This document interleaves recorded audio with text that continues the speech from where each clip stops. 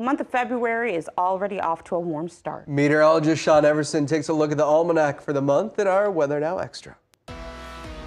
Well, it's the start of a new month this week, and according to Punxsutawney Phil, spring will arrive early, but it's already felt like it so far here in the first few days of February. Unseasonable warmth. Looking at the month as a whole, the first day of the month, our average highs in Omaha, mid 30s. This year is a leap year, so we have February 29th. By the end of the month, those average highs are in the mid 40s. Now, you look at the range of uh, records, the record high for Omaha, hottest temperature ever in February was 78 degrees, the lowest 26 below zero. So February is top two in months with the widest range of extreme temperatures. We average just shy of an inch of total moisture and on average about 7.8 inches of snow, making it on average the snowiest month of the year.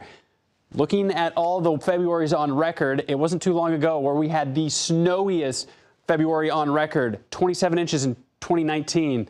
Remember, that was the year we had all the melting, and then March brought all the flooding across uh, parts of the area. But uh, you can see several times we've seen the total snowfall more than 20 inches. But it doesn't look like we have really any snow in sight right now. Looking ahead into the middle of the month, 8 to 14 day temperature outlook still points at a greater probability of above normal temperatures and maybe just slightly better odds to see above normal precipitation. But right now, looks like we'd be seeing more rain than snow in the next week or so.